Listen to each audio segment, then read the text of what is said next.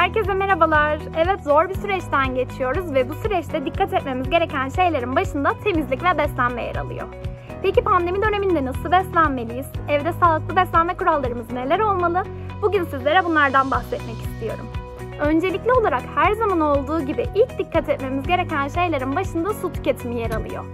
Özellikle stresli bir dönemden geçtiğimiz için bu stresin vücudumuzda ödem yapmaması adına hem tuz tüketimini azaltmamız, hem fiziksel aktiviteyi arttırmamız hem de su tüketimini arttırmamız gerekiyor.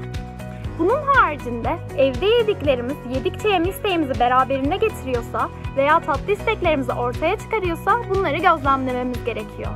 Evet sürekli tatlı krizi yaşıyorum diyorsanız lütfen yediklerinizi bir deftere not alın ve bu yediklerinizin içeriklerini gözlemleyin. İlk uzak durmamız gereken şey her zaman şekerli besinler. Şekerli besinler hem beni çok çabuk acıktırıyor hem bağışıklık sistemim için kötü anlamda etkisi var hem de bunun haricinde yedikçe yeme isteğim beraberinde geliyor.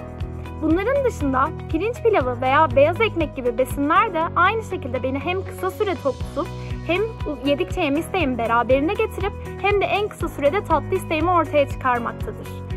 Bunların yerine bulgur pilavı veya esmer ekmek gibi beni uzun süre tok tutacak besinler tüketirsem bu isteklerimin günden güne azaldığını göreceğim.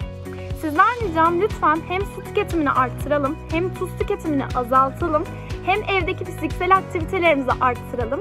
Bunun haricinde günlük sebze meyve tükettiğimiz takdirde, düzenli uyku uyuduğumuz takdirde bu süreci en güzel şekilde atlatmış olacağız. Kendinize iyi bakın, sağlıklı kalın.